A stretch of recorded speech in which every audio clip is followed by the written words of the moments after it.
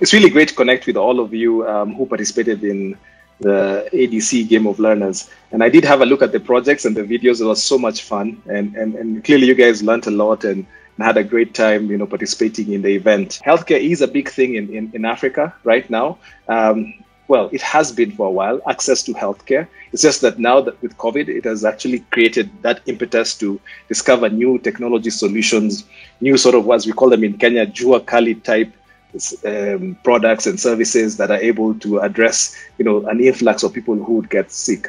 But you know, traditionally it has been an, an issue in, in Africa. And the fact that all of you understood that and created, you know, technology products that can address whether it's remote healthcare management, whether it's um, you know um, consultants being able to log in and, and and do diagnosis you know it has all been good and and and like i said you know we see it as a huge potential area as microsoft and would like to invest quite a bit of work and effort in terms of seeing what are the new sustainable methods in uh, healthcare um, you guys just showed us that you know the young generation the innovators you know the university university students know that it's also a priority area and can harness the technologies that they have or have access to and build solutions for, for the industry. So whatever support we can give you to continue learning, you know, um, our, the CEO of Microsoft says he's a lifelong learner, a continuous learner.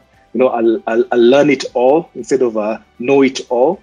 So, so we, we inculcate that culture not only within Microsoft, but also to the ecosystems where we're represented. This is just not the only initiative we're running as ADC or as Microsoft in, in Kenya. There's several other initiatives we're running. Maybe not all of them are ADC. Some of them are perhaps geared by other organizations, but it's, it's a one Microsoft approach. Keep up that spirit and and and and and and, and, and this is not the last of, of what of our engagement. We will continue engaging with you throughout, you know, your career and, and hopefully you at some point, you know, we, when when COVID is over, we can all have a meetup together and um, and, and have a face-to-face uh, time as, as, as a team. Congratulations to all of you, for those who participated, and congratulations to those who won on the different categories. And I'm really proud of all of you.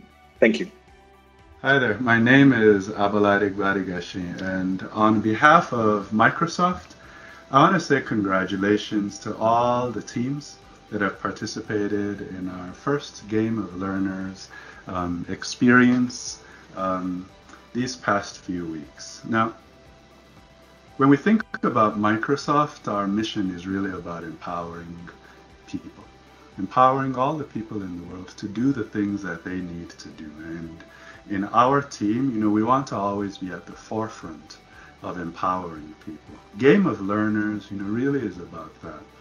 It's about as participants, you know, having the opportunity and doing the work and going through the experiences um, to not only have an impact you know, on the world, a real and a relevant impact on the world, you know, but also um, to grow in our ability, you know, to make that impact come to life as a team. The learning that we're speaking about is not just learning about technology, it's also learning about each other and learning about how we work together, you know, to have each and every one, you know, of our capabilities, you know, our talents, you know, our approaches, you know, come together, you know, and solve something, you know, that is special. Solve it, you know, not just because it's innovative, but because the approach that we have, you know, is unique.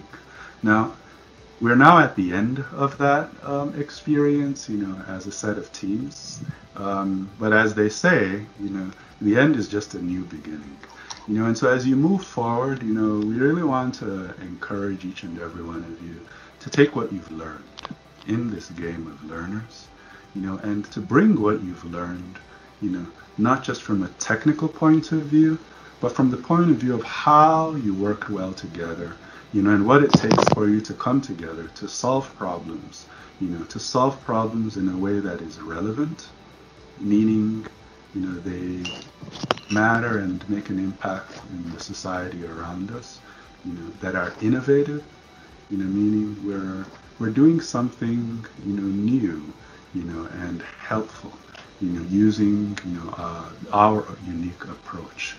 Um, and, you know, in many ways, you know, uh, most importantly, you know, that, you know, is accessible. meaning that those who for whom we are building those things can actually use them. That's what Game of Learners is about, and that's what we want you to continue to build on, you know, and um, celebrate, you know, as you move forward. The impact and the teamwork.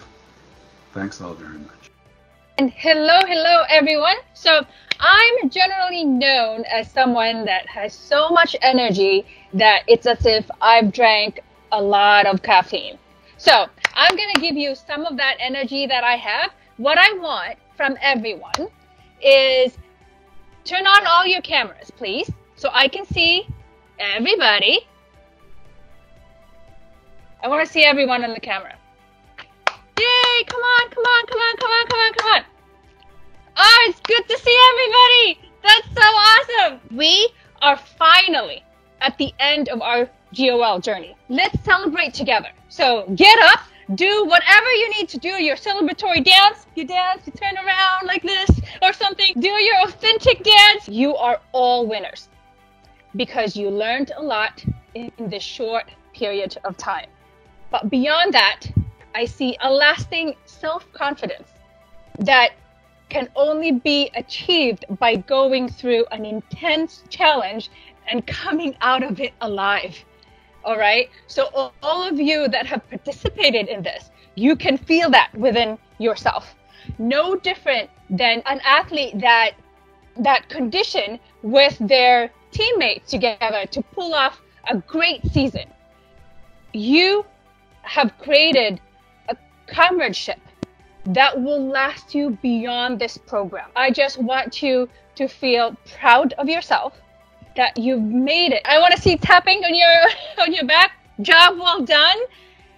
And let's get into the award ceremony. Over to you, Lydia. Thank you so much, Ruth, for all the energy you've impacted in us. You can feel that this this meeting is so lively now. We are so energetic. I can see some people are nervous. It's it's okay to be nervous. And I know the hearts are beating. We want to see the winners, and now the moment is here.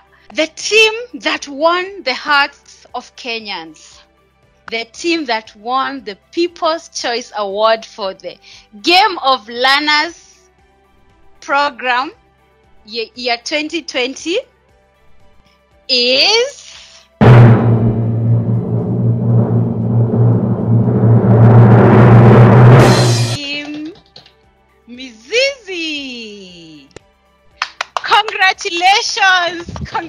Congratulations to for getting so many votes online. I'm sure you shared with all your friends, and they all voted and they all supported you.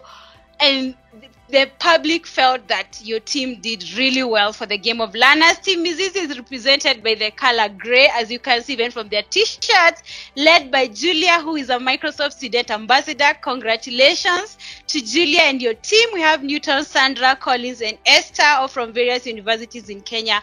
Congratulations for winning the People's Choice Award. As you all know, Game of Learners was not just a hackathon that was happening virtually. We actually had a Game of Learners show that was running on YouTube. And um, for us to produce the Game of Learners show, we were requesting for videos from you as the participants. We were requesting for photos. We were working with a video agency and we were working on a timeline because the videos had to go online every Tuesday. I want to introduce you the best media presence, the team that had the best videos. And that team is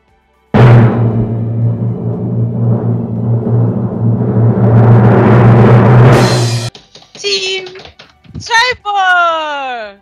Thank you so much, Team Tribal.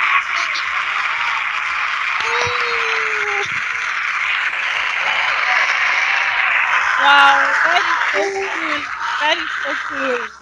I see even now you're still making our meeting fun, led by Ayan from Strathmore University, who is also a Microsoft Student Ambassador.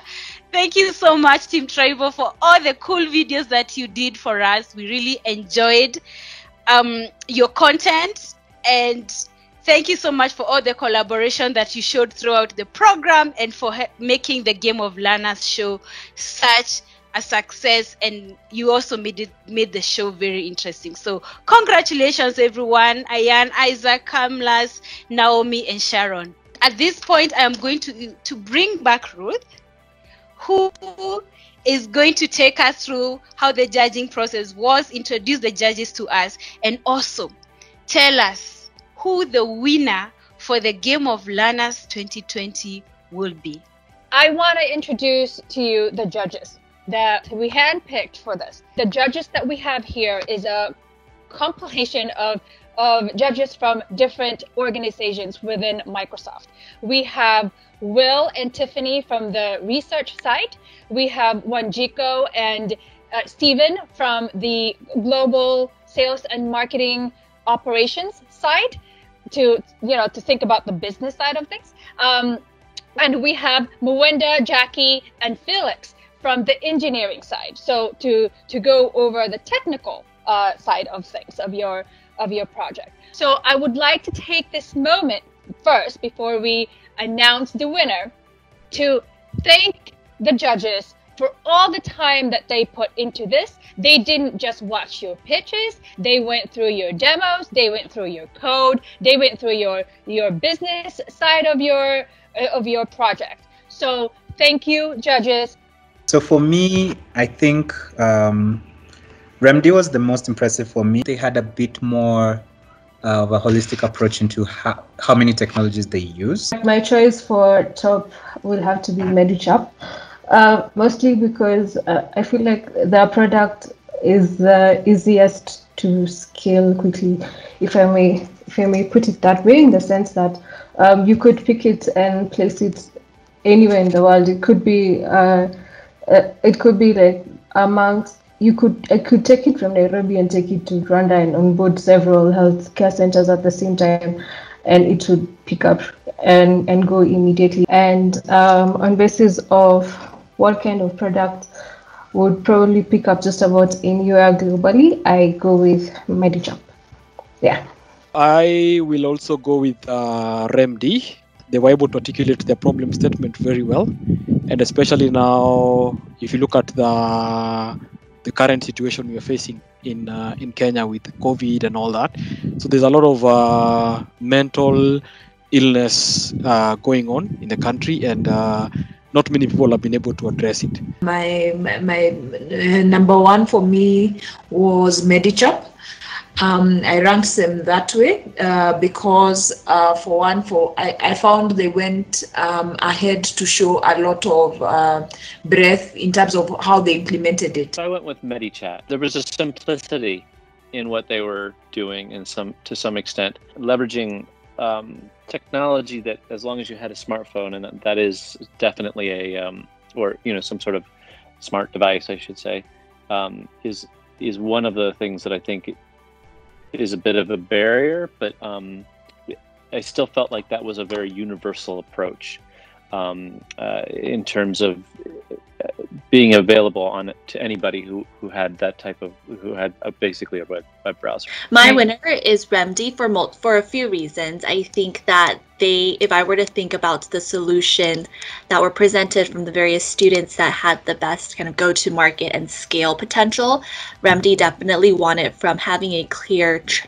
uh, challenge space uh, laid out, having a clear solution, target market, and go to market strategy. Now it comes to what I started uh, breaking down as uh, what to break the tie is the inclusivity in terms of the solution offered, right? I feel that um, the MediChap guys did a really good job, uh, but um, their their barrier to entry was slightly high because considering we're in Kenya and Africa, um, you know, you'll find a market that they can really uh, capture are people with smartphones, right, or have at least internet access. So Team Remedy going that extra mile to provide for uh, people who do not have access to the internet uh, or, or um, you know have feature phones, which is really really something that you find uh, is really you know uh, rampant in, in in the area where we are in right now. I think that extra thought really puts them ahead of the rest.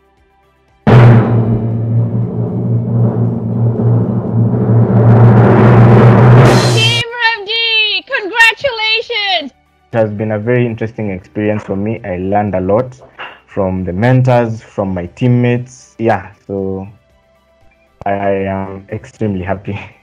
We had a dream when we began Remedy, and um, was um, a very good platform for us to showcase what we could do.